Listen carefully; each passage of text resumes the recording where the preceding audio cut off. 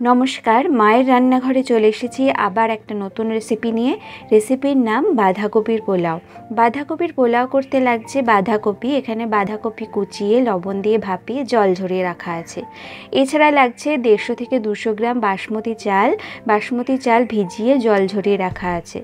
এছাড়া লাগছে কিছুটা পরিমাণ জিরে গুঁড়ো, গরম মশলা, গোটা এলাচ, গোটা লবঙ্গ আর কিছুটা গোটা দারচিনি।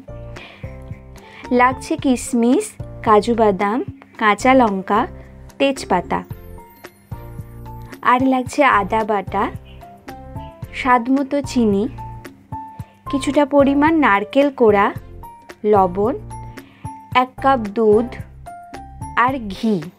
পুরো রান্নাটি আমরা ঘিতে করব। প্রথমে কড়াইয়ে ঘি দিয়ে কাজু বাদামটা ভেজে নেওয়া হচ্ছে। এর মাঝেই বলে রাখি, আমাদের রান্নার রেসিপিগুলো ভালো লাগলে অবশ্যই লাইক করবেন কমেন্ট করবেন এবং পরের ভিডিওর আপডেট পাওয়ার জন্য সাবস্ক্রাইব করে রাখবেন। কাজু বাদামটা ভাজা হয়ে গেলে এরপরে আমরা কিশমিশটা দিয়ে দিলাম। দিয়ে কিশমিশ এবং কাজু বাদাম দুটোই অল্প করে ভেজে নিয়ে তুলে রাখব।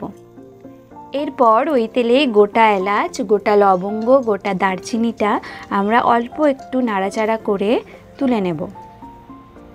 এরপর ওই গরম ঘিতে আমরা ভাপিয়ে রাখা বাঁধাকপিটা ভেজে নেব।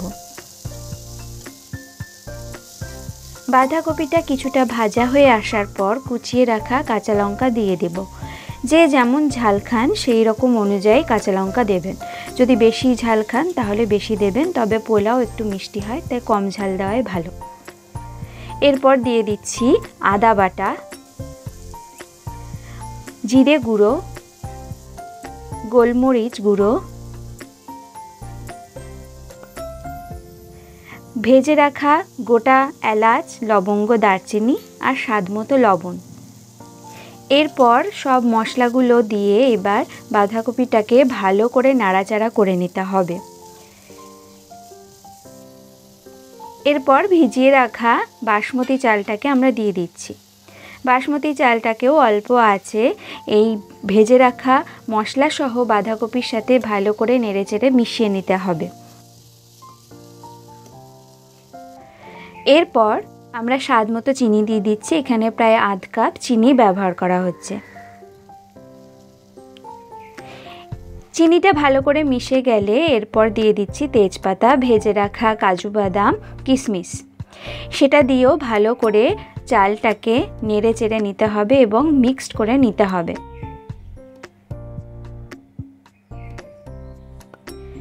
এরপর আমরা যে এক কাপ গরম দুধ নিয়েছিলাম, সেই দুধটা দিয়ে দিচ্ছি।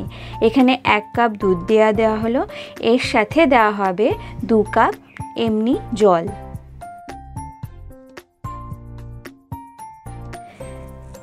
এরপর ভালো করে এর মধ্যে চালটাকে যাতে ডুবে যায়, সেরকমভাবে নাড়াচাড়া করে বেশ কিছুক্ষণ ঢাকা দিয়ে রেখে দিতে হবে যতক্ষণ না পুরো জলটা শুকিয়ে আসে।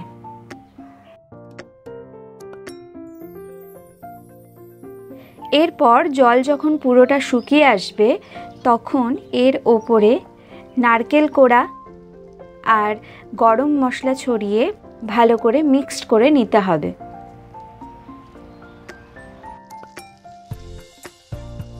ভালো করে মিক্সড হয়ে গেলে ওভেন বন্ধ করে 10 মিনিট একে দমে রাখতে হবে ঢাকা দিয়ে।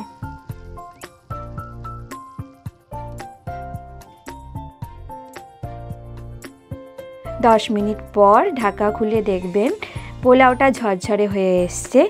এরপর গরম গরম পরিবেশন করুন বাঁধাকপির পোলাও।